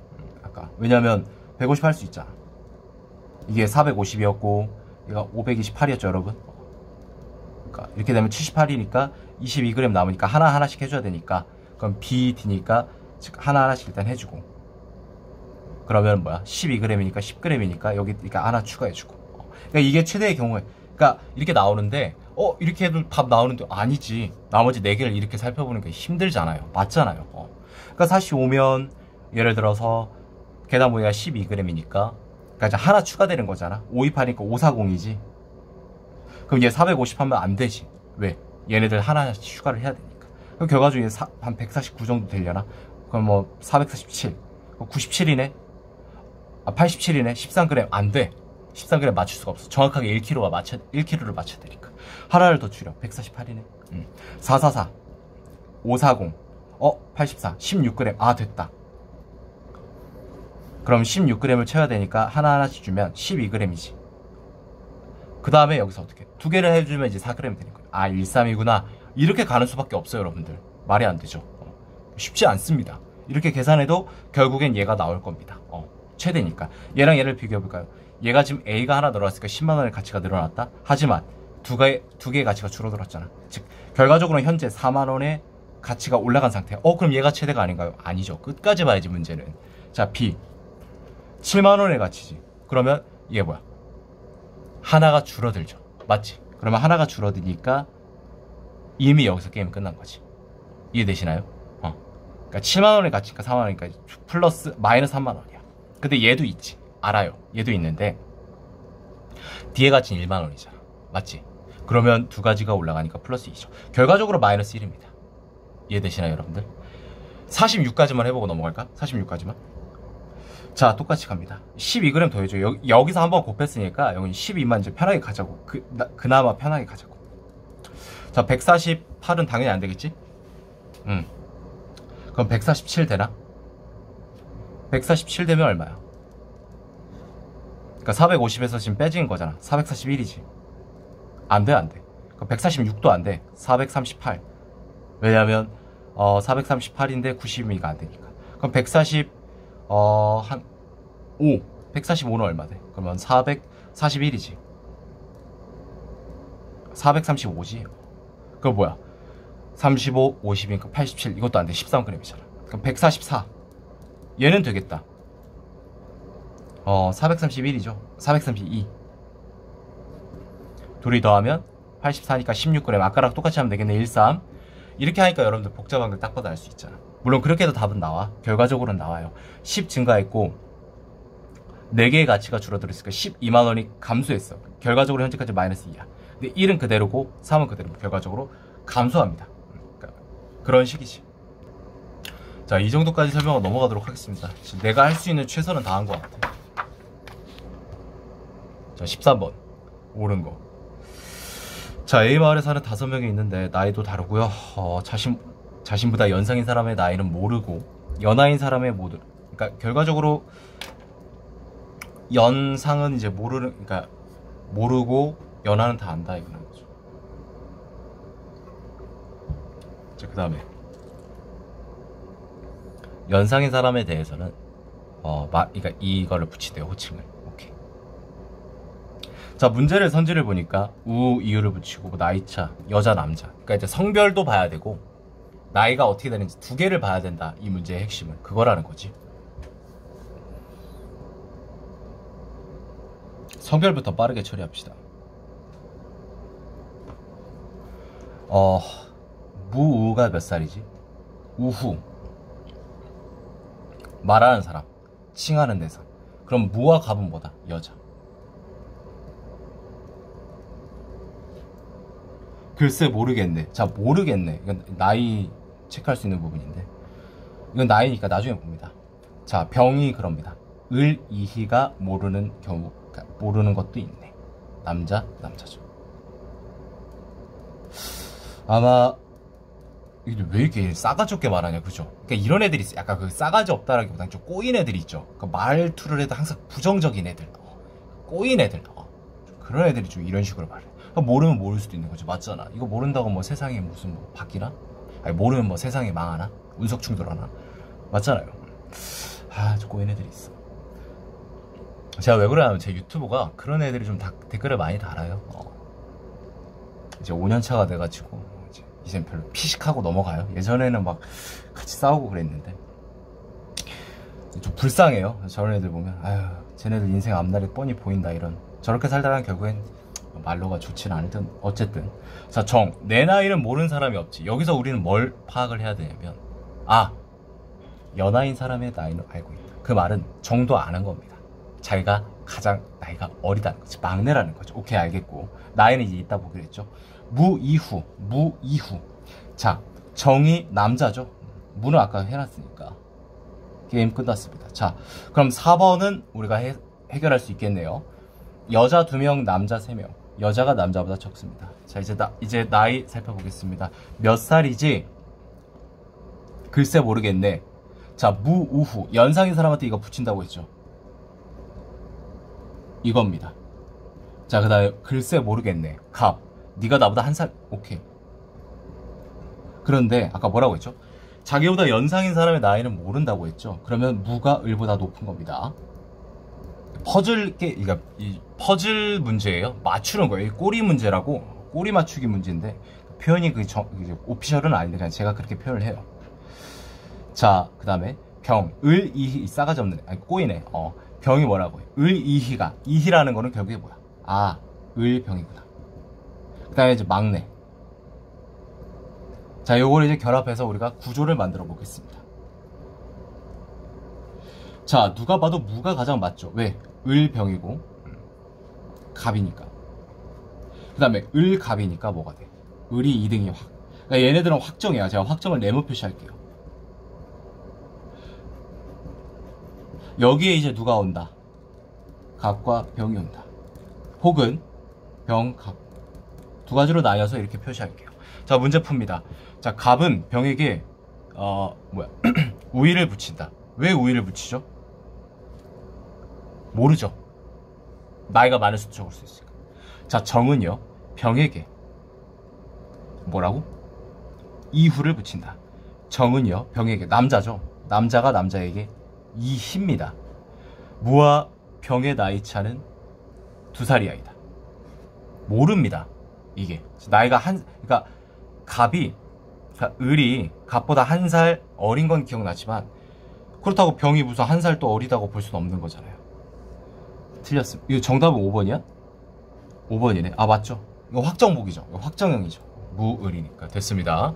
자 14번 보도록 하죠. 최대 최소 문제. 어 11, 12, 13, 14가 다 빡세네. 앞에 10문제는 쉽고 이게 트렌드인가 보다. 자 특보가 주의랑 경보로 나뉘어 당직자를 지정한대. 자 주의보는 하루 한 명. 그다음에 경보는 두 명. 당직은 갑을명. 출장이나 휴가 당직 설수 없고 이틀 연속 쓸 수 없고. 오케이. 어 이것도 날짜를 그리는 문제네.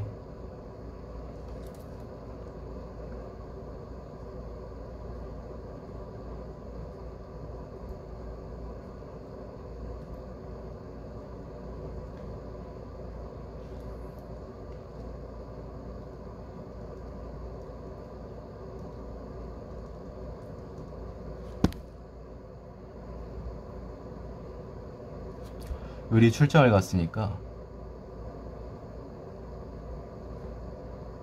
그다음에 휴가를 갔어요. 언제? 13일 날. 어, 잠깐만. 경보는 하루에 두명 사야 된다며. 병이 없으면 무조건 갑과 을은 서야겠지. 맞죠? 동그라미를 안 치겠습니다, 여러분. 선다는 뜻이니까. 자, 여기까지 왔습니다. 좋습니다. 또 있나요? 그 다음에 호흡특보 아가 이건 알겠고 자 그러면 이제 최소 최대 자 병이 최대 최소의 경우를 물어본다라는 거죠. 자 일단 여기서부터 우리가 시, 시, 꼬리에 꼬리를 물어야 됩니다. 이것도 약간 꼬리 문제랑 비슷해요. 왜냐면 이제 하나 하나를 물면 하나가 확정되고 뭐 이런 거니까. 갑과 을이 섰어. 그럼 뭐야? 갑과 을은 죽었다 깨어나도 설 수가 없어. 왜? 이틀 연속 못 쓴다며. 그럼 병이 확정이 되래 병은 이제 문제에서 병을 묻는 거였잖아요. 병을 이렇게 좀 표시를 하겠습니다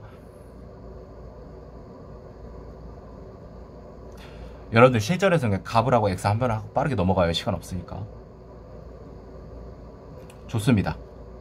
이거 어, 병이 안 선 날에도 이렇게 체크를 좀 해줍시다.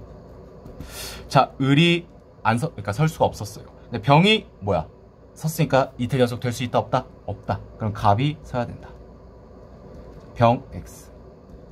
그러니까 제가 지금 하고 있는 건 확정입니다. 근데 이런 문제는 어, 아닐 수도 있고 맞을 수 있는 경우의 수가 있어요. 그러니까 최소 최대잖아. 경우의 수가 나뉘니까 이렇게 되는 거잖아. 확정이면 최소 최대의 개념이 없어. 그냥 바로 어, 몇번 서게 되는가라고 직설적으로 물어봅니다. 아시겠죠?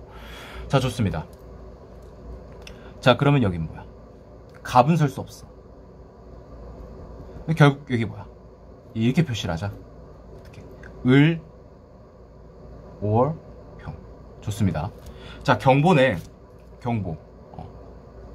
그 을과 병이 서야 되니까 여기서는 굳이 이제 따질 수가 없나? 일단 봅시다. 그러면 최소값부터 보자고. 최소값이 2, 3, 4인데 자 병과 병이 있습니다. 선, 여러분들. 어. 자 두 번 썼어요. 여기서 만약에 을을 섰다고 친다면요. 을은 여기 쓸 수가 없죠. 하지만 갑 갑과 병은 무조건 서야 됩니다. 왜? 경보니까. 그럼 만약에 여기서 병을 썼어. 그럼 뭐야? 어 갑이 쓰고 을이 서겠지. 그럼 병은 뭐야? 세 번이 되는 거죠. 근데 여기서 안 설 수가 있나? 안 설 수 있지. 왜? 갑과 을 차례대로 하나씩 하면 되니까. 그럼 결과적으로 뭐냐면, 그러니까 병이 서는 경우 3인데 병이 안 서는 경우를 볼게요. 그럼 얘가 을이 서게 되는 거죠. 그럼 여기 공부는 무조건 뭐라고? 두 명이라고. 갑병이 돼. 그러니까 무슨 소리냐면 9일에 그러니까 여기서 서든지 여기서 서든지 값은 한 번 서야 된다라는 거지. 오케이? 자, 그러면 최소값 나왔습니다. 3입니다. 여기는 안 써도 되냐고? 예, 값을 한 번씩 쓰면 됩니다. 자, 최대값 4, 5 봅니다. 이번엔 최대로 서는 경우의 수를 따져보겠습니다. 이거 4인데 딱 봐도 냄새 나잖아. 이게 둘 다 설 수 없잖아. 왜? 여기 병 서. 그럼 병 3번이지. 이 병 못 써. 둘 중에 하나밖에 못 쓰잖아. 정답 3번입니다. 이 문제는 어, 최소를 체크를 하면 바로 최대까지 덤으로 오는 문제였네요. 야, 이거, 아, 그러니까 1번부터 10번은 쉬웠는데 11, 12, 13, 14, 15 7 문제가 조금 빡세네. 아마 이게 변별력 문항이었던 것 같아 앞에 파트에서는. 자 보도록 할게요. 이 15분도 최대잖아. 그리고 문제가 작잖아. 이게 100% 경우의 수 따지는 문제예요. 16번도 그래. 여러분들 이거 어 가능성. 가능성 있다 없다. 물음표. 100% 경우의 수입니다. 그러니까 그 조합을 따져봐라. 콤비네이션. 그런 거지 싫은 문제예요 수험생 입장에서는. 해설하는 입장에서 좋지 않습니다. 왜? 귀찮으니까요. 솔직히 해줘야지. 자 가비 아, 가, 강아지를 키우고 있는데 산책을 하는데 아침 일단은 이거 테이블을 만들어야겠다.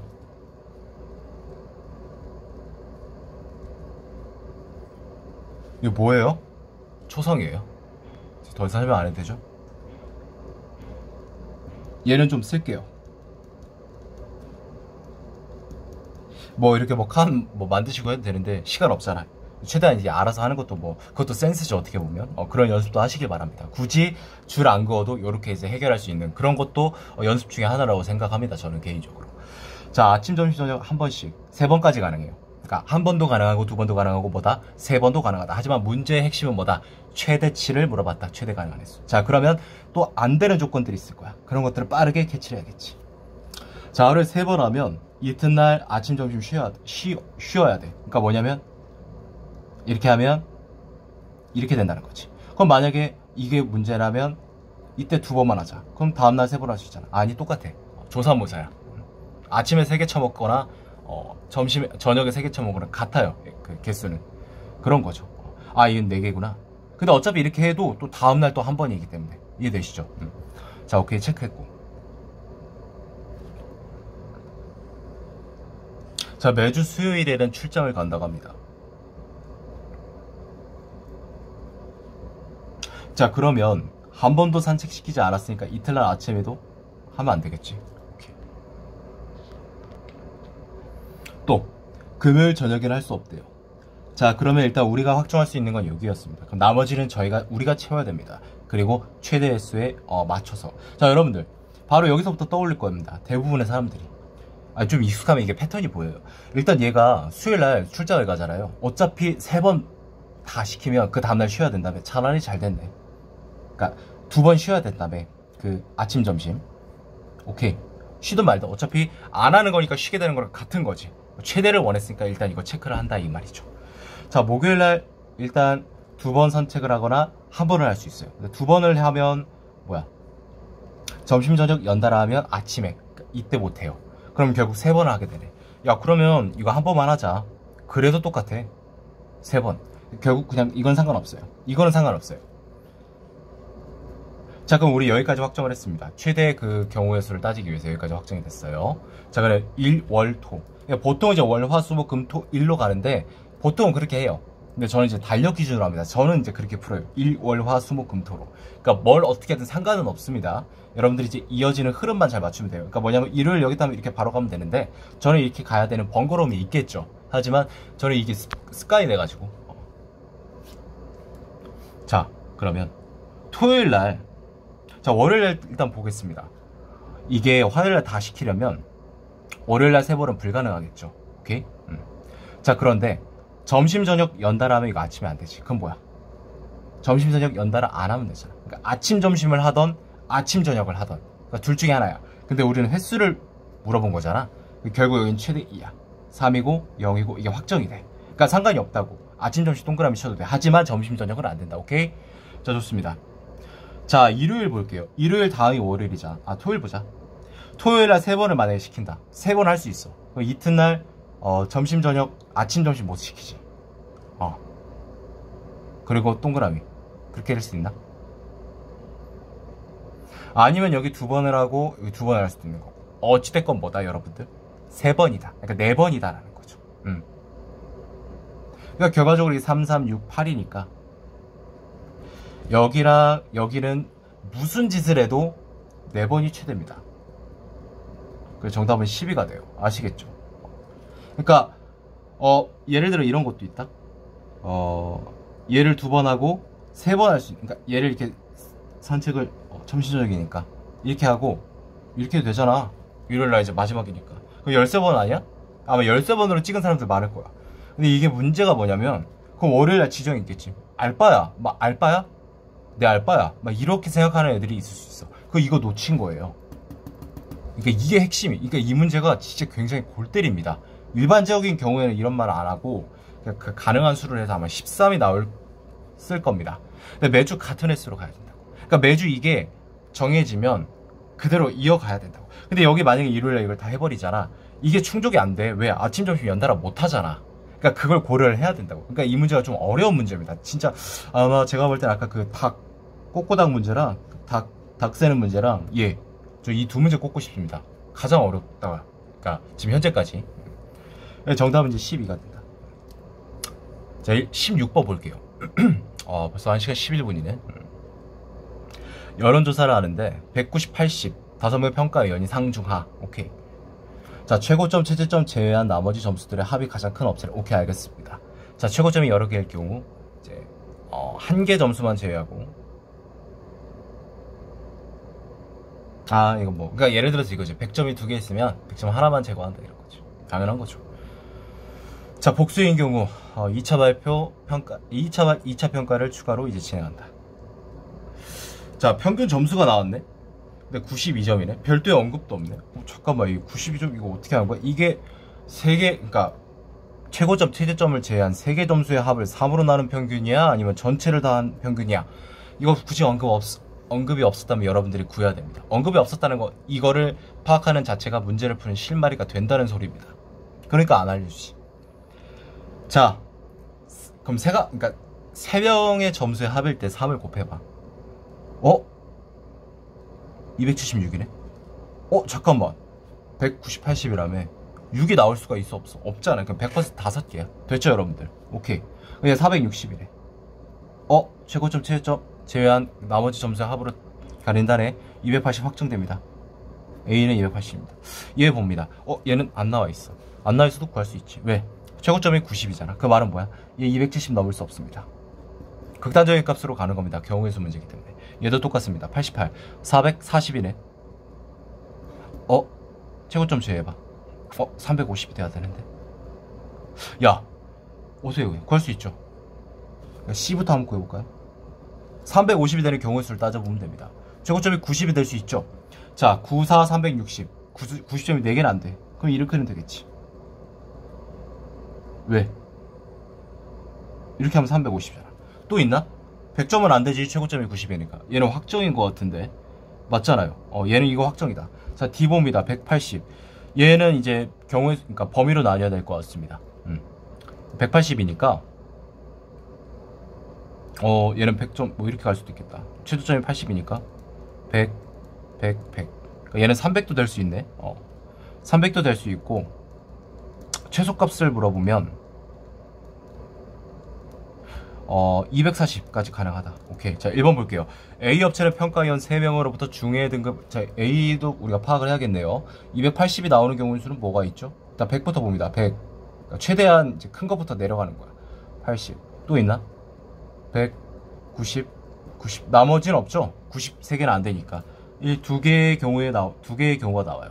근데 중이 90점이었잖아. 어, 이거 말이 안 됩니다. 어, 틀렸어요. 2번. C 업체는 평가위원 두 명으로부터 아닙니다. 한 명입니다.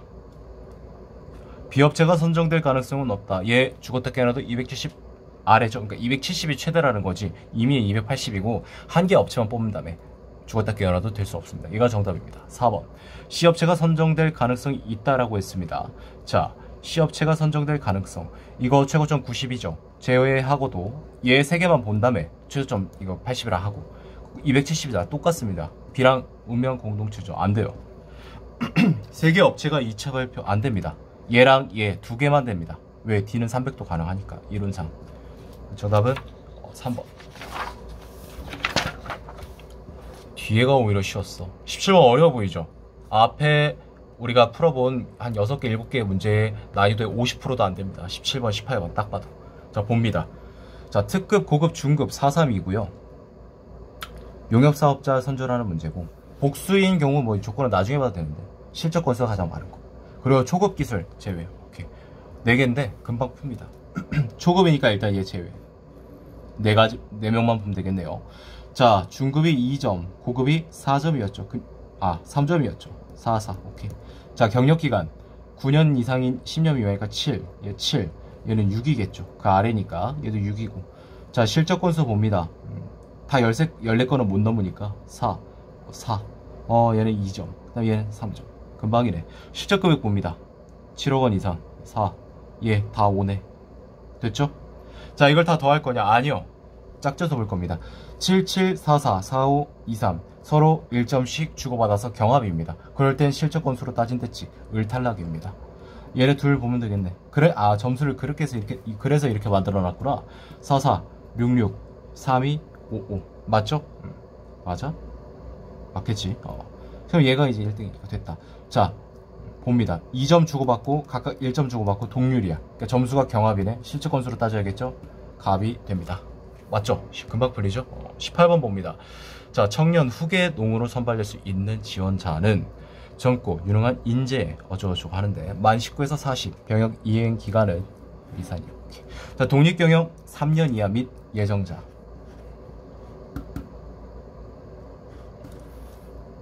이건 다 해당이네. 경영주로 등록 무한대 직접 영농 종사 이게 타이틀 근데 이제 이거가 안 될 수도 있는데 1, 2는 됐는데 3을 충전하면 예정자로 본다고 합니다 아, 자 2023년 1월 1일 현재 아 얘 안 되네 얘를 그 지나서 1월 3일에 등록했으니까 그럼 얘 중에 나오겠네요 나이부터 볼까요? 이거 40, 40 넘잖아. 병역기간 제외해도. 둘 중에 하나네. 나이 되죠? 94, 89년생. 자, 이거 고려 안 해도 돼. 충분히 40 안 넘으니까. 3년 이하라고 했죠. 18년 1월 달에 하고 영농 개시가 이제 3년이 넘었죠. 얘는 21년도라 얘 기준으로 2년 약간 2년이 안 됩니다. 그러니까 정의 복귀입니다. 되게 간단하게 풀립니다. 앞의 문제에 비해서. 자 마지막 연계 문제 보고 마치도록 할게요.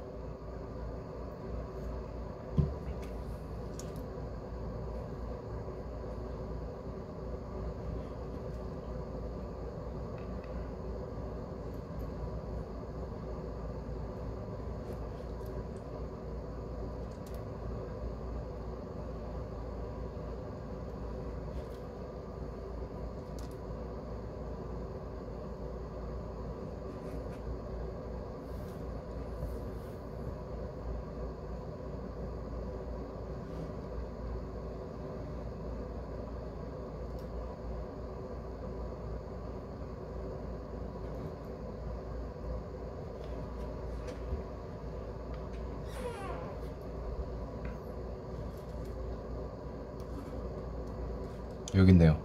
관광 효과를 정리를 해보면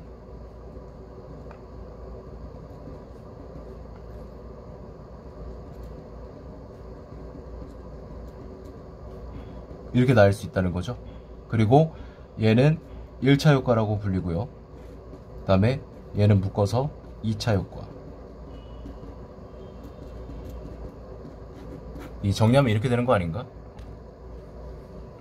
한편 관광이 지역 경제에 미치는 효과는 승수를 이용해 나타나기도 한다. 승수는 경제에 발생한 최초의 변화가 최종적으로 그 경제에 얼마나 큰 변화를 가져오는지를 배수로 표현한다. 예를 들어 최초 변화 10으로 인해 최종적으로 20의 변화 10분의 20 한 것 같아요. 네. 관광으로 인한 지역 내 최초 변화가 지역 경제에 가져오는 측정하는 승수는 비율 승수와 일반 승수가 있다. 비율 승수는 직접, 간접, 유발, 합을 다 더한 거잖아. 어. 직접 효과로 나눈 값이다. 그리고 일반 승수는 일단 분자는 똑같은데 최초 관광 지출로 나눈다. 그러니까 결과적으로 뭐냐면 아 위에 분모는 귀찮으니까 안 쓸게요. 직접 효과로 나눴는지 그다음에 최초 관광 지출로 나눴는지에 따라서 얘는 뭐가 된다? 일반 승수 얘는요? 이렇게 된다라는 거죠. 자, 그럼 문제 보겠습니다. 뻔해요. 어, 20번은 딱 봐도 계산 문제고 19번은 이 글에 대한 내용 일치와 비슷한 거죠. 항상 패턴이 이렇습니다. 상황 판단 연계는. 자, 관광 효과에서 아, 효과라 발음할래. 뭐 효과라 발음하는 게 뭐 표준이라고 하는데 아, 그냥 효과라 할게요. 관광 효과에서 유발 효과를 제외한 값은 맞을 수도 있어. 하지만 간접을 빼먹었지. 이것은 맞겠죠.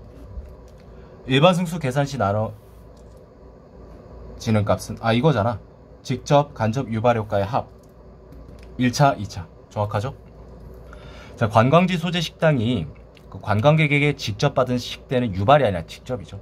그 다음에 이제 여기서 뭐 그 식대로 인해서 뭐 부식 뭐 이런 거를 이제 공급하는 뭐 이런 사람들한테 간접 효과가 가고 또 결, 결과적으로 이게 넘어가서 뭐 그 자영업자들이 뭐 다른 데다 이제 돈을 쓰거나 이럴 때 뭐 이제 유발 효과고 정답은 4번 4번이죠.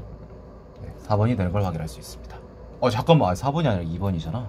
이걸 왜 동그라미 쳤어? 틀렸습니다. 자 20번 보도록 하겠습니다. 자 A씨가 어, 관광으로 얻은 직접 효과는 이거 식을 좀 써야겠다. 최초 관광 지출의 50%다. 그럼 여러분들 최초 관광 지출을요 EX라 보겠습니다. 왜 EX라고 했냐면 절반이니까. 근데 만약에 최초 관광 지출을 X라고 하잖아. 2분의 1X, 2분의 1X로 둘래?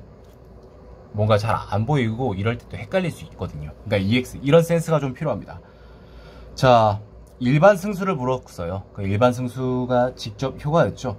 어, 직접 효과는 뭐라고 했죠? 관광 지출 이거 이렇게 하면 되겠다.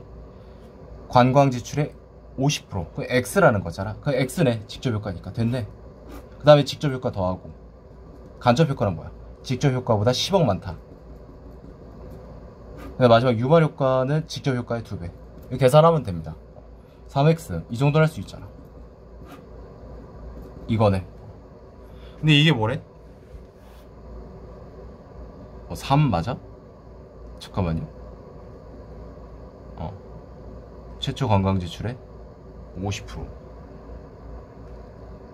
그 다음에 응? 아 잘못 봤네. 야 아니잖아.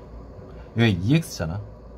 어. 됐죠? 어. 왜냐면 이게 일반 승수는 그 최초 관광 지출 나누는 거니까 우리가 구해야 되는 건 비율 승수 비율 승수고 걔는 이제 이 바뀌었잖아 그럼 여러분 맞죠? 어 죄송해요 바꿀게요. 아마 이거 보, 여기까지 보셨을 때 어, 의아했을 것 같아. 자, 뭐 상관없습니다. 이거 4x고 여기 3회로 해놨냐? 음. 그러니까 이게 지금 2.5라는 거잖아. 그러니까 2x. 어. 그럼 됐지? 이거보다 이거, 이거보다 이거 이제 분수 두 개인 거잖아. 계산 끝낼, 그러니까 여기서 자세히 할 필요 없어요. 그냥 이거 2고, 이거 2x분의 10은 x분의 5잖아. 얘가 0.5가 된다는 소리야. 그럼 x는 10이지. 왜? 10분의 5가 2분의 1, 0.5잖아. 그럼 10억이네. x가 10이네. 오케이? 직접 효과였죠, x가. 2번입니다. 그러니까 2, 3이 되고. 비율승수 봅니다. 비율승수 뭐 따로 계산해야 됩니까? 식 써가지고 비율승수는? 아니요. 이거 2배죠? 3번입니다. 왜 2배냐면, 비율 승수는 뭐라고 했죠? 직접 효과였으니까. 그 아까 최초 관광지출 EX로 나눴잖아. 그게 아니라 이제 X로 나눠지는 거야. 그러니까 EX에서 X로 반절이 줄어들었지 않습니까? 그럼 값은 어, 2배가 되겠죠. 네, 아무튼 그래서 20번 정답 3번 확인할 수 있었습니다. 어, 최대한 임팩트하고 딴소리 좀 세지 않고 문제를 풀려고 했는데 뭐 그렇게 딴소리를 많이 한 건 아닌데 문제 자체가 어, 1번부터 10번까지는 쉬었는데 그 이후의 문제에서 시간을 좀 많이 써먹었네요. 그래서 1시간 24분 정도 된 것 같은데 목표했던 시간은 1시간 10분 이내였는데 좀 아쉽네요. 자 여기까지 어, 첫 번째 2024년 507 피스 상황 판단 어, 첫 번째 기출 해설 마치도록 하겠습니다.